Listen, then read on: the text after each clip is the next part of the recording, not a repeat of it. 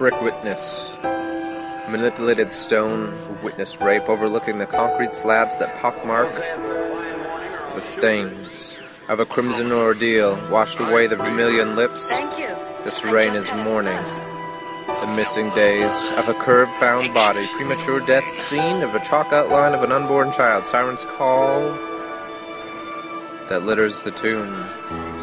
Scarlet roses stain concrete as crimson pools dry, unidentified and deadly.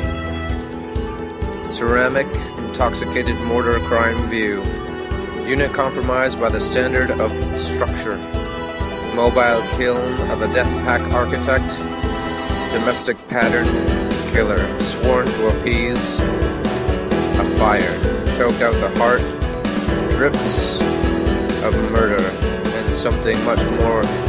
This is the brick witness, dated stone witness, rape, and the abuse of a domestic overlooking screen. A one-way view into obscene, obtuse moral view, wherein the world was watched on the television screen by a man who threw up his hands with raised fists and beat a woman until she bled and the crimson ordeal will never be washed away from the toxic wasteland that is the rain pouring mourning over a soul that can never forget, but maybe one day will forgive, as she regrets the knife that came and the curb stomp body that was found in a premature death scene, a chalk line outline of a man, and with the one wound, siren's call that litters his empty, incinerated tomb.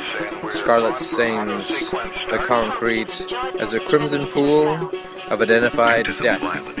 Couch of a corpse, molester chalk outline, daughters brought to light the steel of a knife ending plot. Father won't touch her again. Abuse in his cold eyes is intoxicated by her giving hand to his wrist from forearm to wrist in a straight horizontal slit, collapsing the limestone clay formation of his brick in mud, where the corpse adorns fields. The killmaster beckons the flame. Artisan silence of an assassin. Slave fed chimney, the labor of dying, choking on whiplash. This is a police manifesto to those who touch innocent children and raise hands to their women. Hope you've enjoyed this journey through sounds.